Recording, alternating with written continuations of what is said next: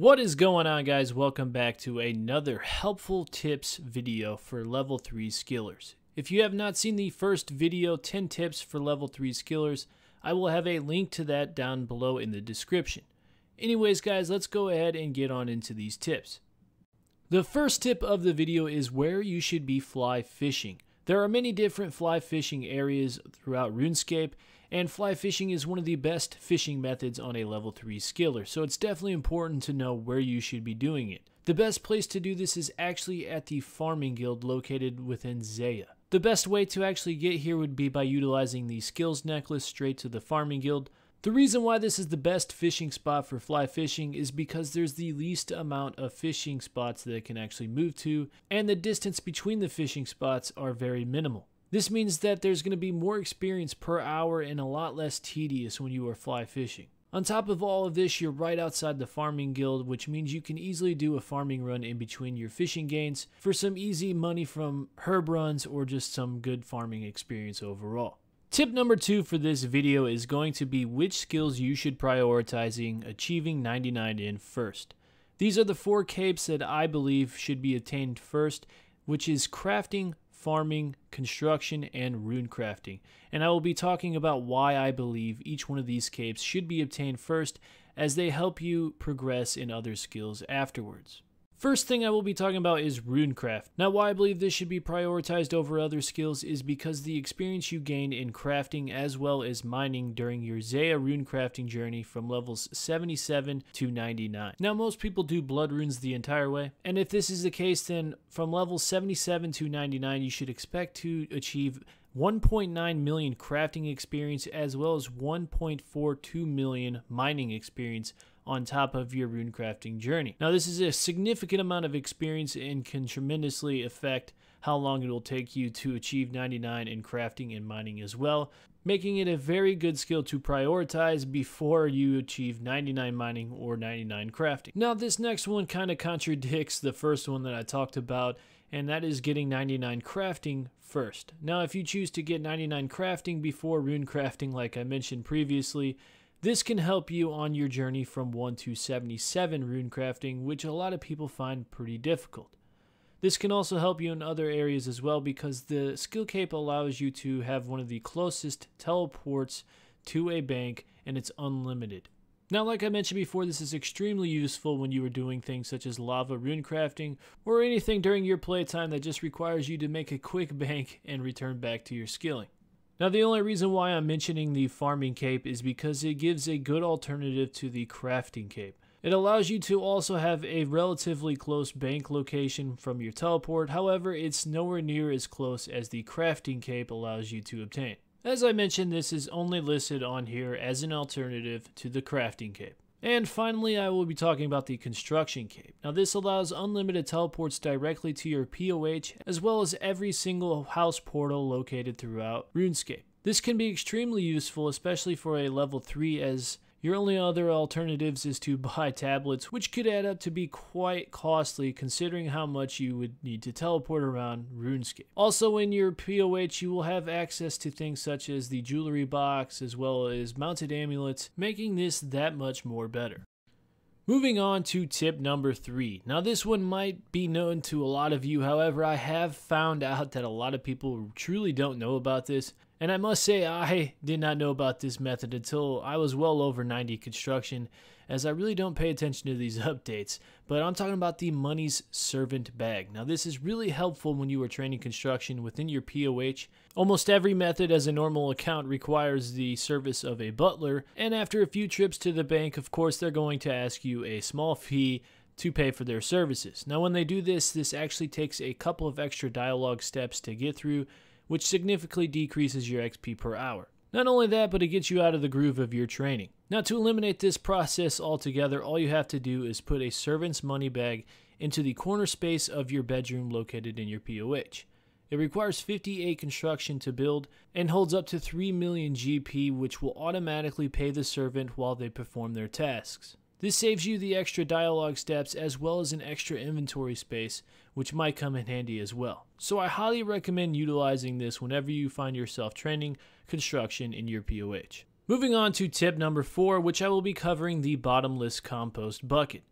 Now this is a compost bucket that only requires one inventory space and can hold up to 10,000 uses of any type of compost you put into it. However, it only requires half of that amount to actually fill it up. Meaning if you put 5,000 ultra compost into the bucket, it acts as if you had 10,000 of them, which is extremely helpful and saves a ton of money in the long run when you truly think about it. You can also store this bucket in any tool leprechaun just as you would any other bucket. Between these saved inventory spaces as well as the extra money that you would be spending, I highly recommend using this when you are doing your farm run.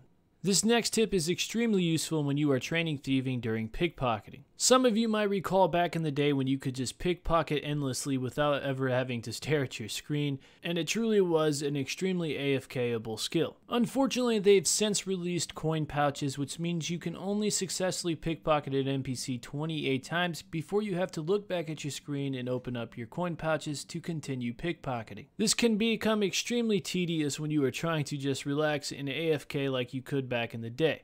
The most tedious part about it is you never really can tell when you are at full coin pouches, so you're constantly looking at your screen to see if you need to open up your pouches to continue pickpocketing. However, if you are utilizing the RuneLite client, as I'm sure most of you are, there's actually a way to notify you when you have reached 28 coin pouches in your inventory. This is done by utilizing the plugin chat notifications, and by utilizing the highlighted word coin, RuneLite will notify you when you attempt to pickpocket with a full inventory of pouches. Because when you do this, it sends a message in your chat using the word coin, which then sends a notification to your computer notifying you that you are full inventory. This makes it extremely useful when you are trying to AFK because you don't have to constantly look at your screen to see if you have reached 28 pouches yet. Instead, RuneLite will notify you when you've reached 28 and you can easily look back at your screen, click on the pouches, and continue to AFK. Here is a quick example of what it will sound like when RuneLite sends a notification telling you that you are full on coin pouches. Tip number six, I will be talking about skiller pitfalls. And what I mean by skiller pitfalls is ways that you can accidentally obtain combat experience ruining your level 3 account. First and probably the most obvious way to avoid this is just by turning off your auto retaliate. A lot of you accidentally forget to turn this off, and when you're casually walking through RuneScape and get attacked by an NPC, your character then attacks back and accidentally obtains some combat experience. And this can easily be avoided with a simple click of a button. Another thing that happens quite often is accidentally attacking an NPC when you're traveling through RuneScape. You can simply avoid this by going to your settings and switching the NPC attack options to hidden. This removes the option to attack any NPC, and if you pair this alongside turning off your auto retaliate, it completely assures that you'll never attack an NPC again until you change those settings again.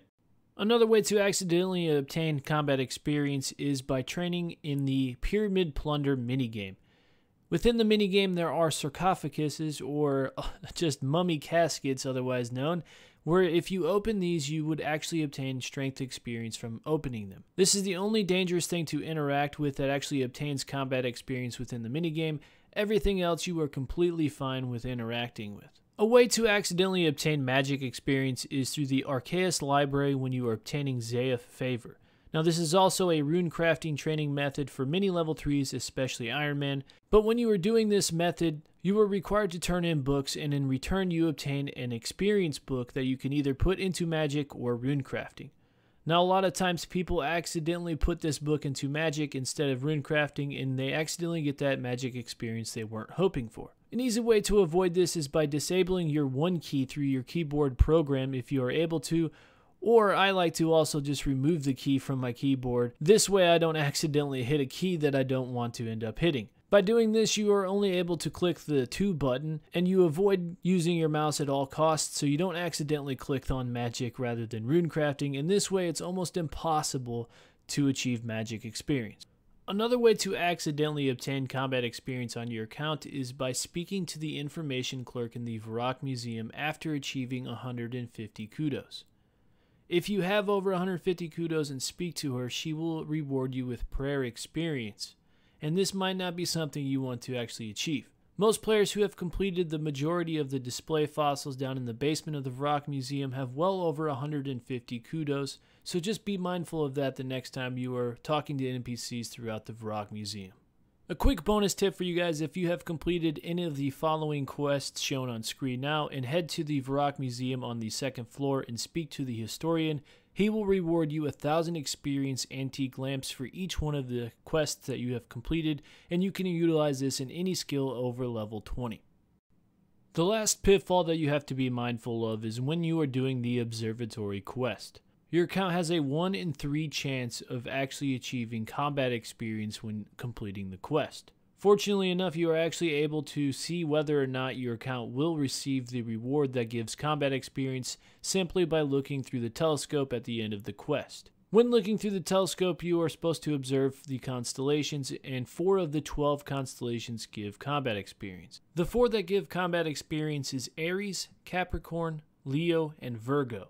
If you have one of these four, then you need to stop doing the quest immediately and do not talk to the professor again to avoid getting any combat experience. You won't be able to complete the quest, however, it's really not that necessary unless you are trying to get to Fossil Island, and even if you are trying to do that, there are other ways to do so.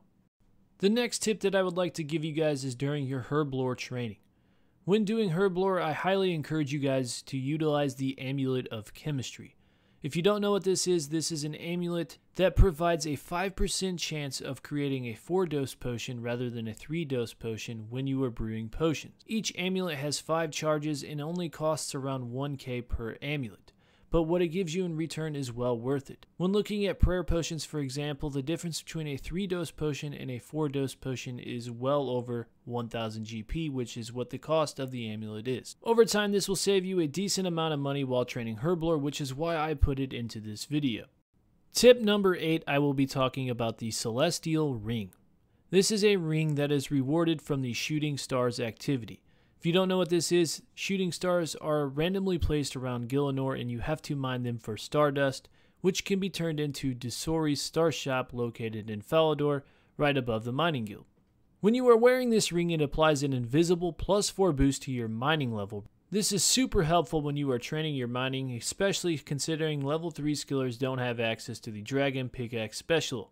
On top of the invisible boost, it also has a 1 in 10 chance of giving an extra ore when mining rocks up to adamant. Achieving 2000 stardust for the ring does not take very long at all. It should only take you around 4 to 5 shooting stars depending on the tier that you find. I highly encourage you guys take the time to do this because it will help you tremendously during your mining training.